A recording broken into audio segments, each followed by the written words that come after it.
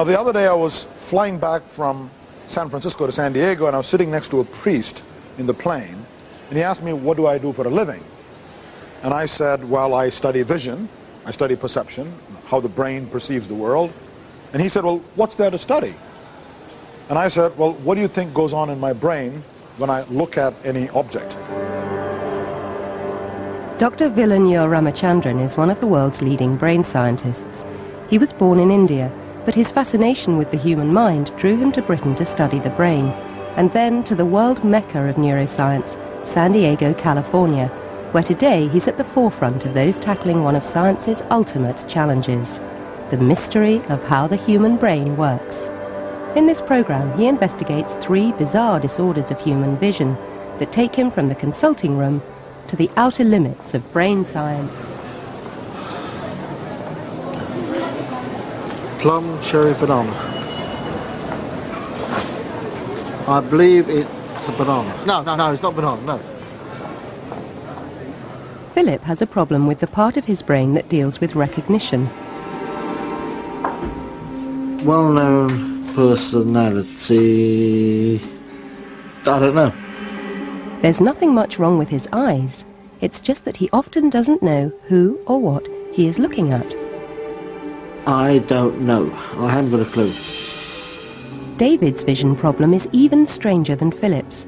Although he recognizes the people he knows, they don't feel familiar to him. This leads him to think that the man who looks like his father is in fact an impostor, pretending to be his father. It can look like my father, but the fact is that it doesn't feel like him because I know it's not him. It can look identical to him, exactly like him, but it's not him. When Ramachandran encounters strange stories like these, he is both a doctor, there to help, but also a detective, on the lookout for clues that might explain the brain science behind such weird experiences. So thank you very much for coming by today. Oh, okay, thank you for having me here.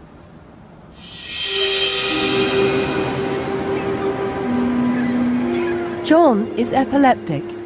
Frequent seizures in his brain invest everything he looks at with overwhelming significance. Sometimes he even has visions and believes that he is God. I am so blessed. I get to see a glimpse. People say, no, you can't see into the future. Mm-hmm. Uh-uh. But you have, you, you feel That's what that gift is, man. I see, okay. That's what that gift is, but you gotta pay for it. You gotta pay for it by flopping around and getting slammed around. John, Philip, and David have all suffered damage to a region of the brain just behind the temples called the temporal lobes.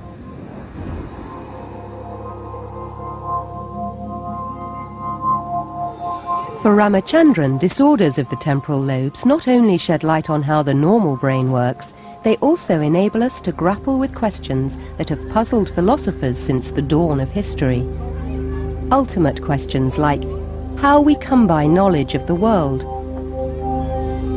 What is it about the particular beauty of a face? And even the question of why we are all prone to religious feelings. But the story begins with the eyes and the very earliest stages of seeing.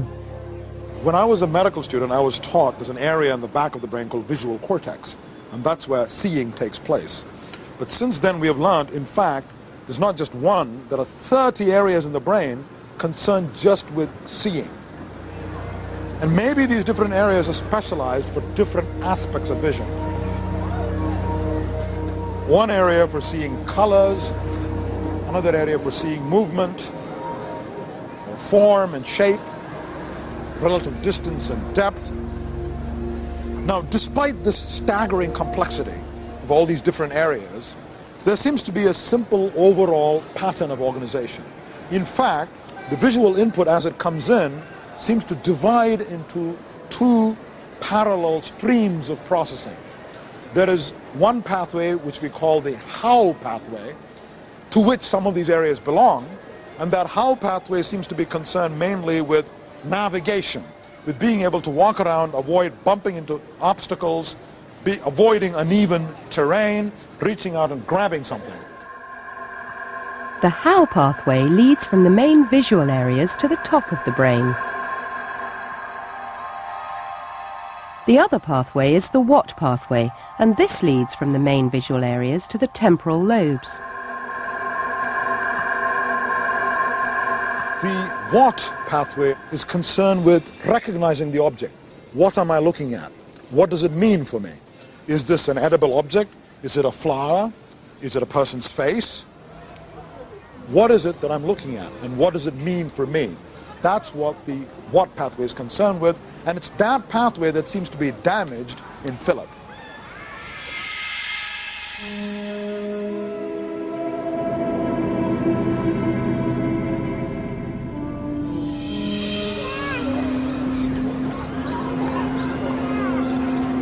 One of the first things we learn to do is to recognize and name animals.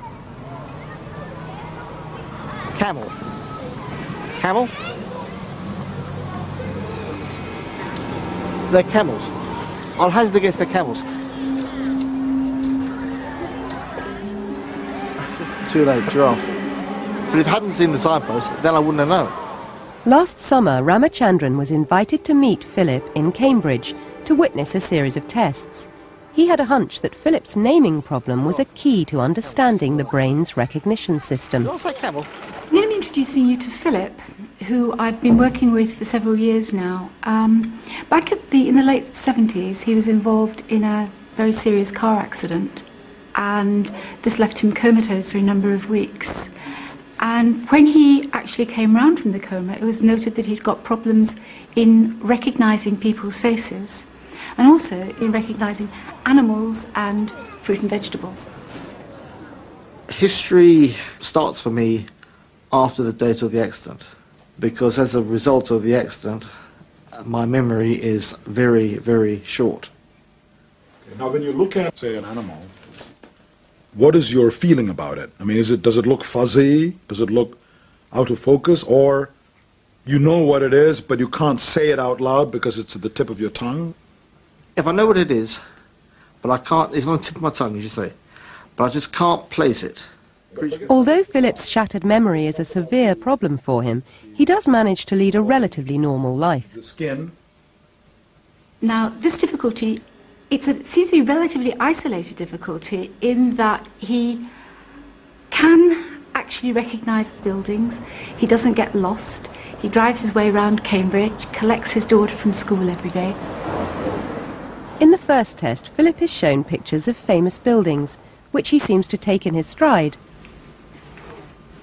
That's Cambridge, that's King's College Chapel. Easy identified by the bike sitting outside. to anybody else, I'm just perfectly normal because I'm that good at masking over when I'm trying to bluff my way around a situation. I can take you from A to B, no trouble. What's clear is that he's not blind. Absolutely. Um, and this suggests that the notion that vision is one process is clearly wrong. There are all these subtle processes going on in the 30 or odd visual areas that have been described in the primate brain, and some of these pathways can be selectively damaged. So you get these very, very fascinating deficits where one category alone is affected, with other categories being intact. What's this thing? Electric plug. Pair of glasses. Philip is fine with objects. It's with categories of living things that the problems start. See if you can tell me about this one. I know what it is, but I can't name it. Uh-huh. And it's annoying me. Philip's phrase is a bit odd. He says he knows what it is, but he can't name it. But in fact, in most instances, he doesn't even know what it is. This brings us face to face with the mysterious borderland between seeing and knowing, which has always puzzled philosophers. Yeah, yeah, because if you, if you don't know it's a rhino, how can you tell if it's a rhino? If your teacher's But told if you you. don't know what a rhino is, how do you know what a No, rhino but I mean, if your teacher's told you. If you don't know what a rhino is, how do you know what a rhino is? I couldn't have put it better myself. You have just said it all. You've just said it all. Philip's difficulty with the rhino reveals how we learn about the world around us. The temporal lobes of the brain, where Philip's problem is located, seem to house specific memory files that help us distinguish one thing from another. And there are files within files that enable us to tell one animal from another, one face from another face. Philip's accident shattered these memory files. We don't have exactly the same systems involved in recognizing animals and recognizing objects. You happen to have lost the animals part, which in your case, given that you're living in a city and you're a 20th century man, this is not a dire problem. If, however, you were a hunter-gatherer and you weren't quite sure what animal was coming at you, it could be a very serious problem indeed. When he's stumped, Philip often resorts to a roundabout way of solving the problem by trying a Sherlock Holmes-like deduction based on little clues.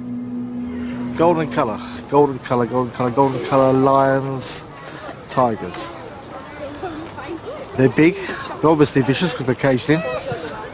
I'll go for lions, but a guess, a big guess. I mean, it seems to me what's interesting about all this is there is this tacit taxonomy going on all the time in your brain, this obsessive need to classify things. Help me, girls. What is it, please? It's right now. And of course, this is tremendously useful for survival because you need to know It's got horns. whether these animals in general are mean predators, these animals are generally prey. Here is a mate, not a particular mate, but a potential mate. Now, Philip obviously has problems recognizing many different categories of objects. But the most important category, in many ways, for us humans, because we are such highly social creatures, is interaction between people, which involves recognizing faces. I don't know. I can't place you in any situation. Is it a man or a woman? It's a woman, obviously. Dressed up to look younger. Donald Duck, for all I know. I don't, I don't know. I'm going to try and draw a famous personality on the board and see if you can identify who it is. Okay? Now, in addition to his other visual problems, Philip does have prosopagnosia, the inability to recognize people's faces. I don't recognize faces. To get round this, I pick up on everything clothes, hairstyles, nose, moustache. But Philip's deductive process is not always reliable. Sometimes he misreads a clue and draws the wrong conclusion. Famous movie star? I can't name her, no, but if I'm correct, we're going back to the 50s, 60s. And you're not telling me anything by the expression on your face. Yes, she married into royalty because she married into. Oh, what's the country? In Europe, gambling, Monte Carlo. I can't name her. Does she look beautiful to you? Or sort of so-so? Going by that picture, no. But I feel of it's of by a reputation that yes she was. Okay. By a reputation that yes she was a very attractive woman. Philip is not often this mistaken. Usually his intelligent alertness to clues sees him through. It's only when he's caught out in the most ordinary situation that it becomes clear how great his loss is. Shortly after we tested him in the laboratory, we engineered a chance encounter with Roz on the street to see if he would recognize her out of context. Do you want me to actually approach him? Yeah. Yeah. Just go and say hello. Okay. I'll do that. Hello, Philip. Yours? Got you. Well done. Didn't you recognise me? I didn't know. Same when you spoke. Only when I spoke. Only when you spoke, yeah. If I hear them speak, then I'm in heaven. Because I can identify persons by their voice. Although Philip fails to recognize Roz visually, his auditory recognition system is still intact. As soon as he hears Roz, all the correct associations and feelings flood in. I'll walk straight past you. because I don't recognise people. Sorry. It's okay. Just wanted to see whether. Don't make me rude. No, I wanted to. It turns out that Philip's flood of emotion plays a vital role in the act of recognition. I can walk straight past somebody. If There are many components to even the simple act of recognizing somebody's face. The most obvious component is the ability to look at that person and know who he is, um, his name, his identity, and what that person means to you. In other words, everything you associate with conscious recognition of faces. But in addition to that, you have to assign an emotional significance to what you're looking at, especially if it's a face. Is this a terrifying face of somebody who I don't like? Could it be my boss? Could it be an enemy? Could it be an animal like a lion? Or maybe it's something neutral. There is a very rare neurological condition called the Capgras delusion, where the emotional response to who we're looking at gets disrupted. The effect of this on our reaction to familiar faces is extraordinary. David woke up one day convinced that his parents were imposters.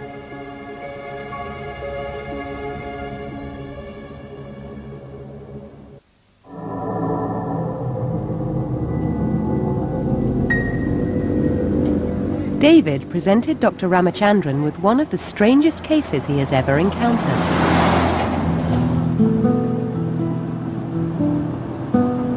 Two years ago, David was involved in a terrible car accident while driving back to California from Mexico. There was a problem with the car, and I landed in the highway with my head first. Okay.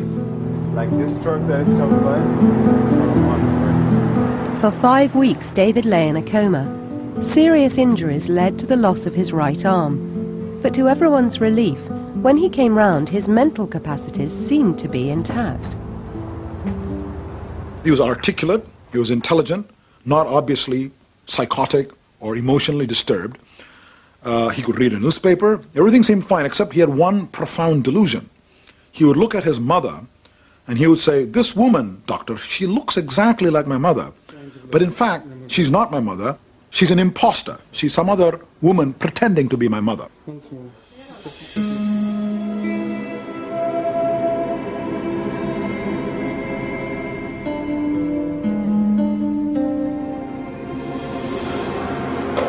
The injury to the temporal lobes of David's brain had brought on a very rare condition called the Capgras delusion.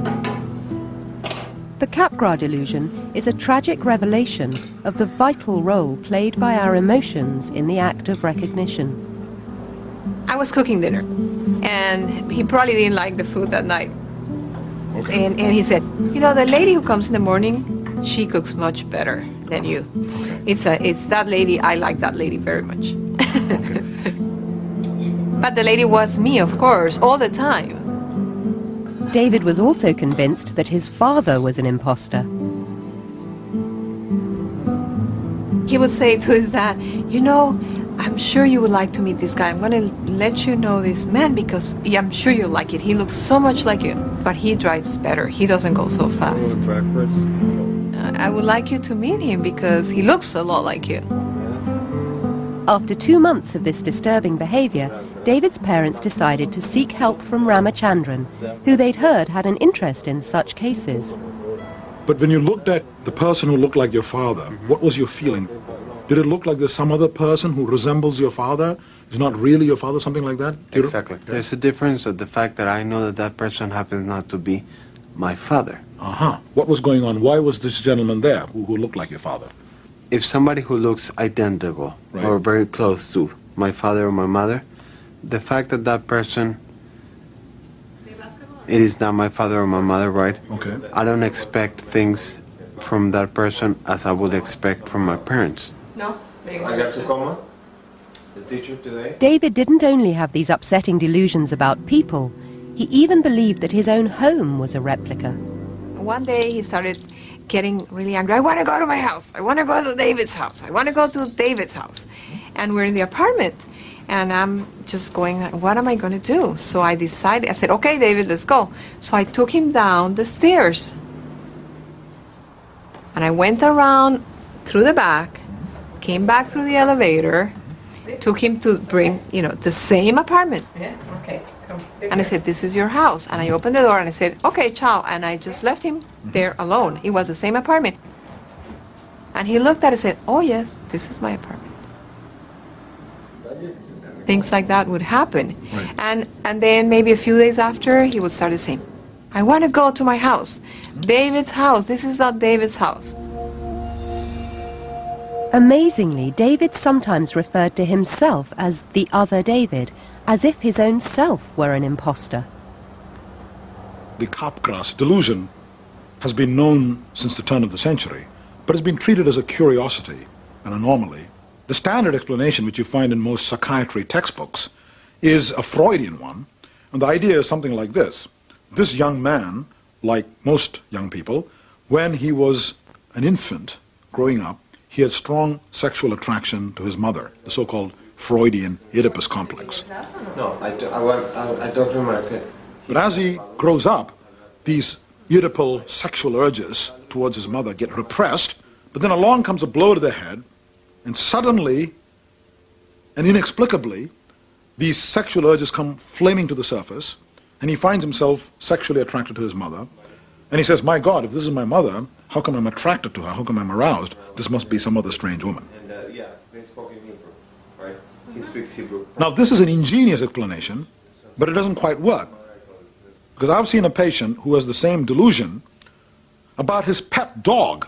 He'll look at his pet dog and say, Doctor, this is not Fifi. It looks just like Fifi, but in fact it's been replaced by another identical dog.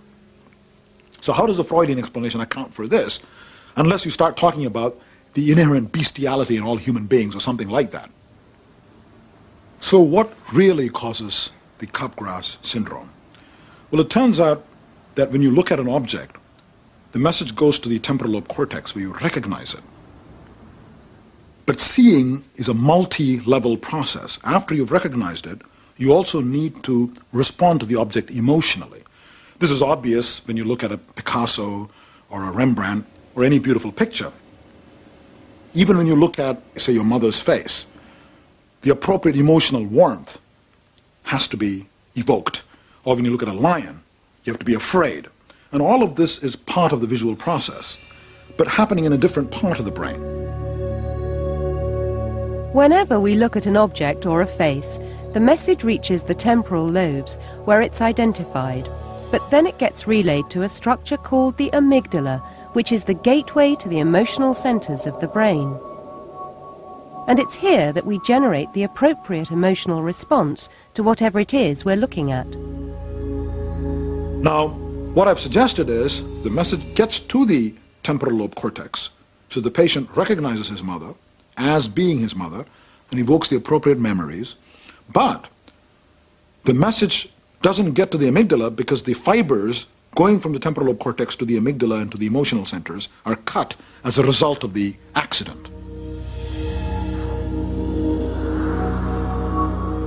Therefore, there is no emotion, there is no warmth. And he says, if this is really my mother, why is it I'm not experiencing any emotions? There's something not quite right here. Maybe she's some other strange woman pretending to be my mother. That's the only explanation that makes sense to him, given this very strange disconnection between the visual centers and the emotional centers in the brain. Ramachandran's hunch that David's delusions were being caused by the rupture of specific brain circuits was lent unexpected weight when David's mother recalled a strange incident with the phone. We got so tired of him saying, You're not my dad, you're my dad, you're not my mother, you're my mother. We decided, okay, you go downstairs, call on the phone and said, David, hi. And on the phone, he would know he was his dad. On the phone, he never ever Had this problem. had this problem. So on the phone, he'd always recognize On the phone, the, As his father. As his father. No problem. when he saw him in person, he would In say, "You look like my father, but, but you're, not, really my father. No, I'm waiting for my. He would come up and no, I'm waiting for my father. This shows the patient is not crazy. Why would he be crazy in person but not on the phone? The answer is there's a separate pathway that goes from the auditory cortex, the hearing part of the temporal lobe, to the amygdala. And that pathway was not damaged in David by the car accident. Therefore, when he listens to his father on the phone, there is no delusion. Oh, great. This is a lovely example how you can take a completely bizarre neurological syndrome, maybe from the X files of neurology, which no one really understood, a person claiming that his mother is an impostor, and then come up with a very detailed explanation in terms of the known anatomy of the brain, saying, here is where the flaw is, and then doing an experiment that takes just an hour to do, and showing that this is what's gone wrong in this patient. Okay. Are you comfortable? Mm-hmm. To test his theory about Capgras, Ramachandran arranges to measure David's galvanic skin response, which is the basis of the lie detector test. Whenever we look at something emotionally significant, the emotional centers of the brain prepare the body for action, and we start sweating. This causes a big change in electrical resistance across the surface of the skin that can be measured. The prediction is that when people with normal brains look at photographs of people they do not know, they will not respond emotionally, so there will be no change in skin resistance. But a familiar face will prompt an emotional response, and invariably there is a change. Now the question is, what happens with David? If Ramachandran's theory is correct, pictures of his parents will not prompt an emotional response, so the line should remain flat.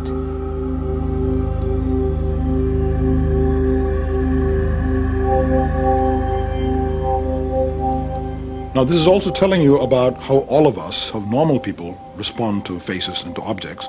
Because what happens in this patient is truly extraordinary. The lack of emotional response actually leads him to this very profound illusion that this person is not really his mother. In other words, the lack of the autonomic gut reaction, this emotional response, leads him to an absurd conclusion, overriding what his intellect is telling him. And this tells you how closely linked your intellectual view of the world is to your basic emotional reactions to the world. This lack of emotional response to familiar faces can feel extremely unpleasant. Oliver is another rare Capgras patient, living in London. A few months ago, he woke up convinced that the woman in bed beside him was his wife's double. And this double had evil designs on him.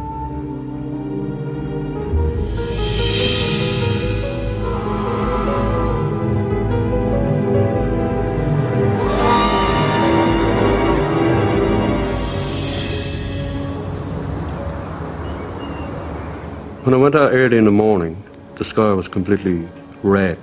I thought it was like the end of the world. So I, I came back in and I got into bed. And uh, my wife asked me what was wrong with me. And when I turned and looked at her, her eyes were red from no sleep, like, you know. And I said, You're a vampire. She said, Don't be mad, you know. Like, you feel like sometimes getting in there and giving them a good kick and say, Wake up and, you know, whatever. Um, but it wasn't going to happen like that. I said, Oh, you were one of them. She said, One of who? Delusions as powerful as these suggest that in addition to damaged brain circuits, there may, after all, be a Freudian dimension to the Capgras delusion. This disconnection between the visual centers in the temporal lobes and the emotional centers in the brain cannot be a complete explanation for the full-fledged Capgras delusion. In other words, disconnection must, might be occurring, but how you respond to the disconnection might depend on the particular relationship you had with that person prior to the damage to the brain. You, you know your wife. You're looking at her, talking to her every day, and this person just taking her place. You know, and she's not your wife, and she's she's trying to convince you that she is your wife. Just because I go out in one set of clothes and come back and change into another, I'm not somebody else. Or if I go out that door, I don't come in as somebody else. But to get him to believe that, I just couldn't. I've had about eight psychiatrists and seven different doctors. I've told them all, like, you know. Oliver's most recent psychiatrist is Simon Fleminger. Fleminger agrees with Ramachandran's anatomical explanation of Capgras, but also feels that the condition may be coloured by the patient's emotional state. But it was just some, somehow you knew uh, that she was an impostor and wasn't your wife and wasn't to be trusted. Yes, that's right. Yes. One has to be able to incorporate into any model some idea that psychological factors can make the condition wax and wane. And I think one of the fascinations about the condition is how you bring that in, not to displace uh, a physical explanation, but to add to it.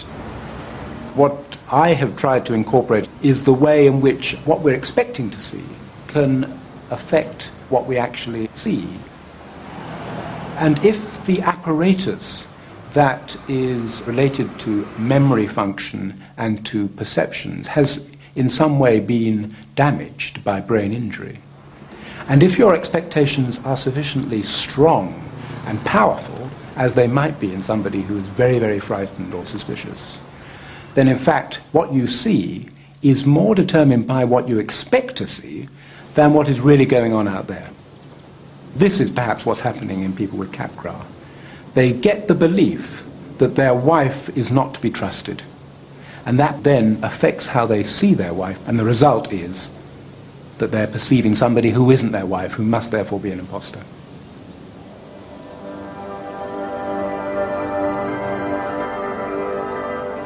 Luckily for Capgras patients, the condition seems to heal itself.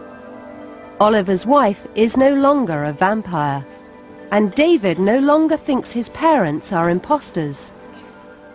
The man who looks like his father is his father, and triggers the flow of all the old familiar feelings.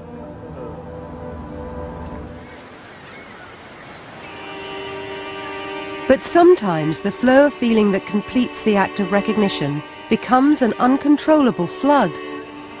For John, this can make the experience of just looking at the world unbearably intense. John has temporal lobe epilepsy. The seizures involve my person and my soul and my spirit, all of it. When I get one of those feelings, though, my whole body just tingles and just, oh, I'm like, that's that.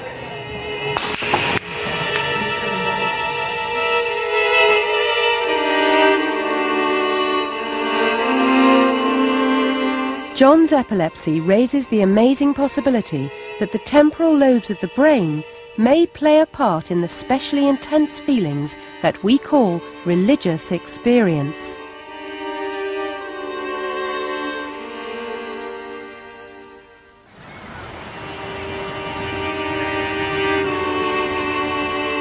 John has temporal lobe epilepsy. The storms that rage through his brain raise the tantalizing prospect that we all might have a kind of God spot. A specialized structure hardwired into our brains that opens us to religious feelings.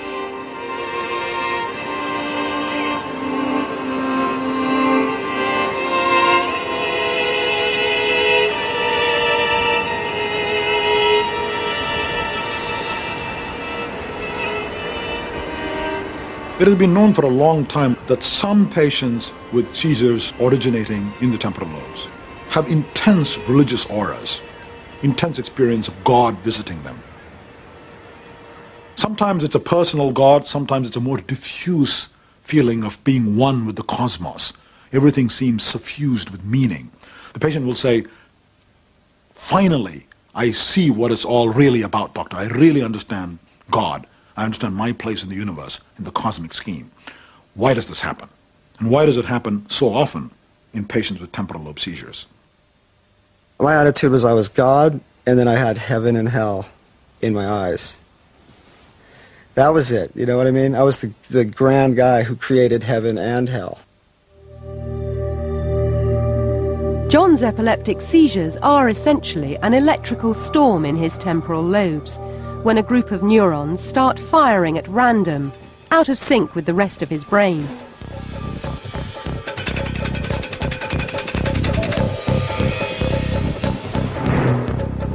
Recently, John experienced one of his worst episodes to date. For nearly a week, he had eight seizures a day. Each seizure lasted about five minutes and involved violent convulsions that left him unconscious. I basically had made plans with an ex-girlfriend to go out to the Salt River in Arizona out in the desert. This girl likes to drink a lot. And to keep up with her, I uh, started drinking vodka martinis and I went into some serious seizures out there.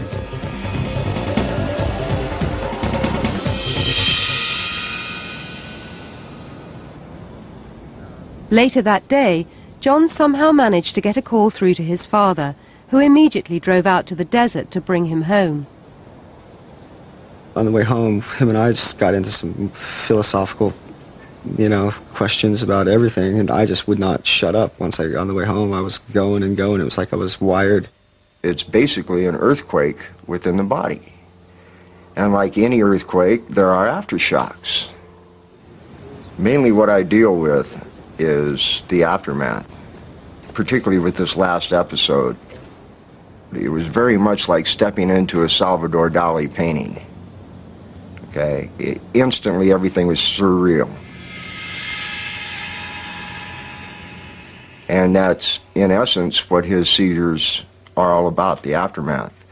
Um, where it puts his brain, where it puts his memory, where it puts his mind, his thinking ability, everything else.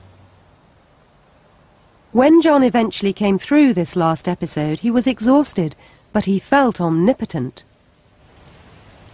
I went running down the street screaming that I was God. And then this guy came out and I was just like pelvic thrust at him and his wife and I was like, You want to effing bet I ain't God? And I said, literally, you asshole, get back in here. What do you think you're doing? Come on back in. right. Come on back All in right, there. I'm Come going, on. I'm going. You know, you're disturbing the neighbors. You're going to call the cops. What is this all about? All right. All right, all right, You're all right. okay. You're not God. I kind of just looked at him cool and calm and apologized to him, and I'm like, nah, no one's going to call the police. Like, it, I didn't say this last part, but I'm thinking to myself, no one's going to call the police on God.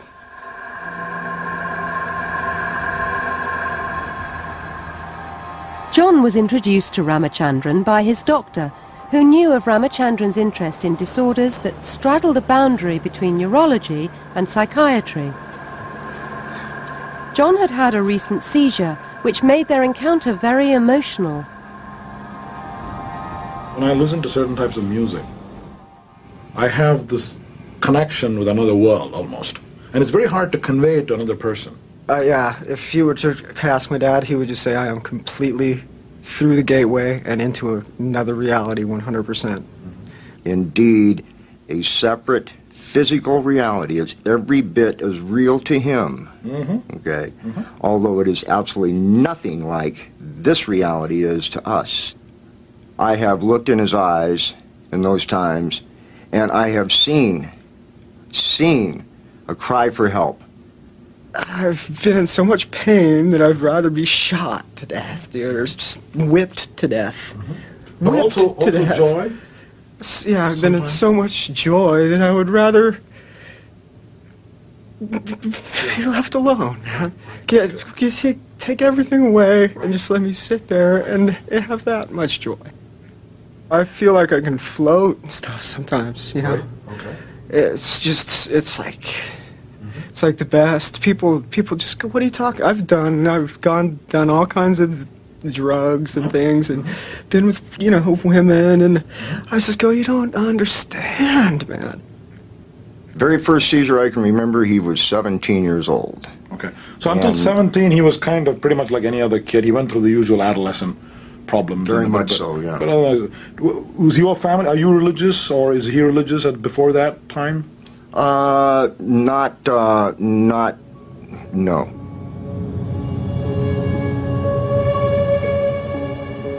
Now, why do these patients have intense religious experiences when they have these seizures? And why do they become preoccupied with theological and religious matters even in between seizures? One possibility is, well, maybe God actually visits them. But if that's true, as a scientist, I can't test this. There's no way of finding out. One possibility is that the seizure activity in the temporal lobe somehow creates all kinds of odd, strange emotions in the person's mind, in the person's brain. And this welling up of bizarre emotions may be interpreted by the patient as, as visits from another world uh, or as God is visiting me. Maybe that's the only way he can make sense of this welter of strange emotions uh, going on in his brain. A third possibility is that this has something to do with the way in which the temporal lobes are wired up to deal with the world emotionally.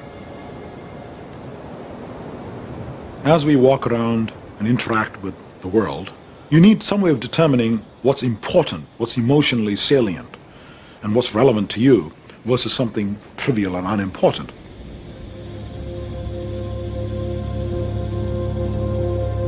How does this come about? We think what's critical is the connections between the sensory areas in the, the temporal lobes and the amygdala, which is the gateway to the emotional centers in the brain.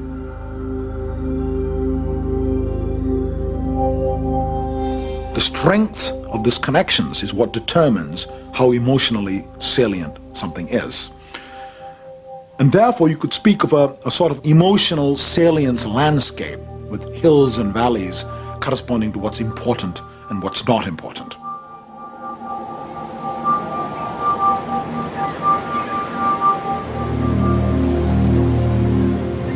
And each of us has a slightly different emotional salience landscape. Now consider what happens in temporal lobe epilepsy. When you have repeated seizures, what might be going on is an indiscriminate strengthening of all these pathways. It's a bit like water flowing down rivulets along the cliff surface. When it rains repeatedly, there's a increasing tendency for the water to make furrows along one pathway, and this progressive deepening of the furrows artificially raises the emotional significance of some categories of inputs. So instead of just finding lions and tigers and mother is emotionally salient, he finds everything deeply salient. For example, a grain of sand, a piece of driftwood, seaweed. All of this becomes imbued with deep significance.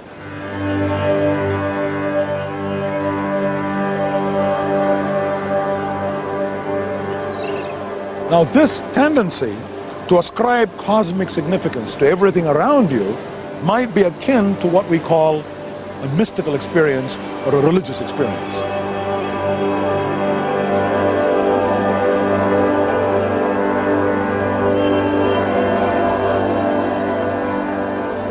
He has a seizure, he'll want to talk philosophy. He'll want to discuss all the things that are floating around in the stew he's got up here that he's trying to reconstruct. Mm. Thoughts that he may have had just just floating through his mind while he was in a seizure mode Uh-huh. may come surfacing. I see. Okay. Also, But also, uh, you said he's become more emotional because because of the seizure, so that's Mhm. that's helpful too. much more sensitive. But oddly enough, not in regards to himself.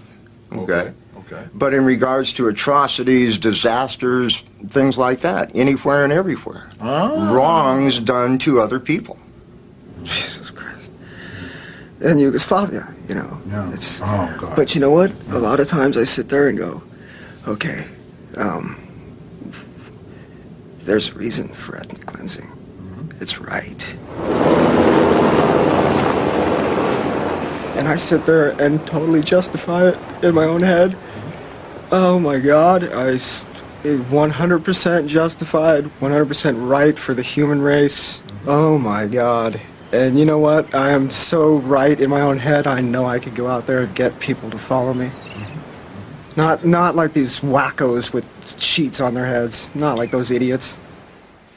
But now it's just the new generation of the prophets. Yep. And are, were all the prophets people that were flopping around on the ground? Is that what this whole message was? The gift from the gods this whole time? That's possible, isn't it? Yeah. I've never been religious ever.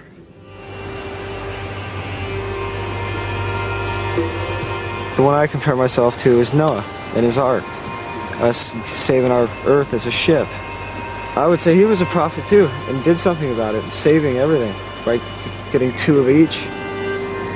I just know it's not going to be 40 days and 40 nights, everyone. It's going to be 40 billion years before we're ready to take off in that ship.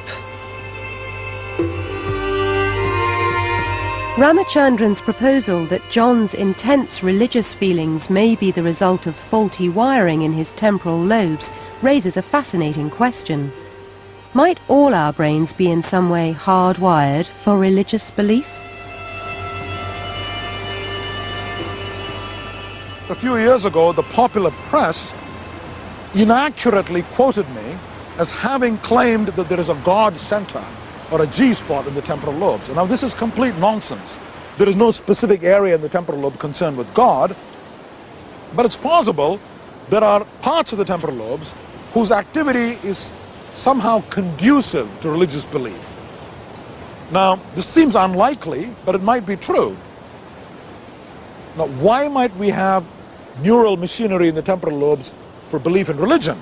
Well, belief in religion is widespread. Every tribe, every society has some form of religious worship. And maybe the reason it evolved, if it did evolve, is that it is conducive to the stability of society. And this may be easiest if you believe in some sort of supreme being. And that may be one reason why religious sentiments evolved in the brain. The only reason I probably would get rid of the seizures and epilepsy because I've never even seen them. It's because of my family, because of him. I would, I would keep them for those visions because of the way I see the world falling into place and things like that. It's a wild little place to, to be stuck in there. But it also seems like a key. And right now I haven't learned how to get to the key without, use the key without those seizures.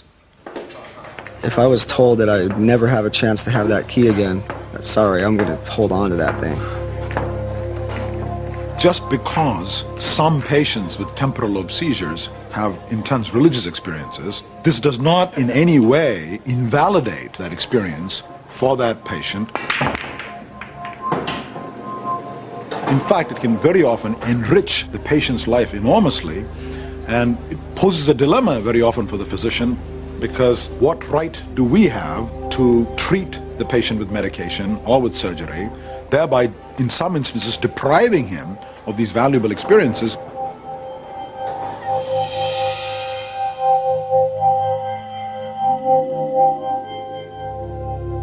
To me, the exciting thing is that subjects like God and religion can now be actually addressed by us scientists. we can begin to ask questions about religion and God and begin to approach these questions by listening to these patients, by talking with them, and by studying them.